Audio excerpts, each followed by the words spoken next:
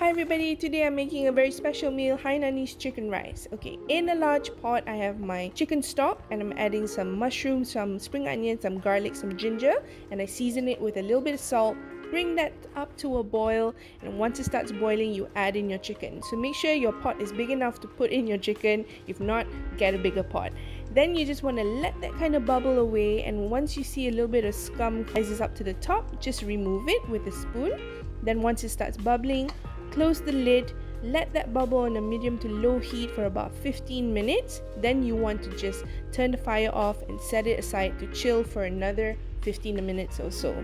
In a pan, we're cooking the rice now, so add in some oil and I've reserved some of the chicken fat and chicken skin. Just swirl that around in the wok, then add in lots of chopped up ginger as well as garlic. Um, just fry that for 30 seconds, then add in your light soy sauce. I'm using gluten-free soy sauce today. Then I've added some washed uh, basmati rice and we want to stir fry that until you can hear the rice kind of crackle and it's really nice and dry.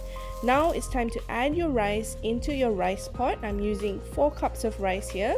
So to that I'm going to add in 9 ladles of chicken stock from the chicken broth that we made earlier. Once you kind of mix that all around, you can add a little bit of salt, but I think there's enough salt in this dish already. So then we just put it into the rice cooker and let that cook. Next, we're going to make the chili sauce. So in a little pot, I've added some oil. Then here I have some blended items of garlic, ginger, onion, as well as fresh red chilies. And then you want to season it with a little bit of salt, some sugar, and also some vinegar. I'm using apple cider vinegar today swirl that around let that bubble about for about 5 minutes. Once it thickens up you can set it aside.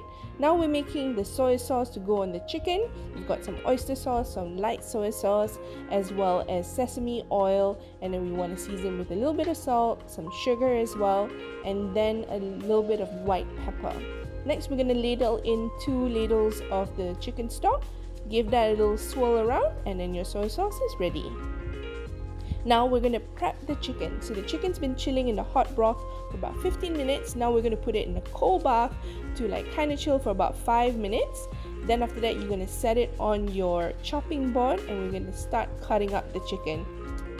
I like to cut up the chicken, you know, removing the thighs and the drumsticks first, and then after that I go on to the wings. After the wings, then I kind of like go onto the breast meat area, so the white meat area, and then I just give it a nice easy slice so it's a lot easier for your families to help themselves.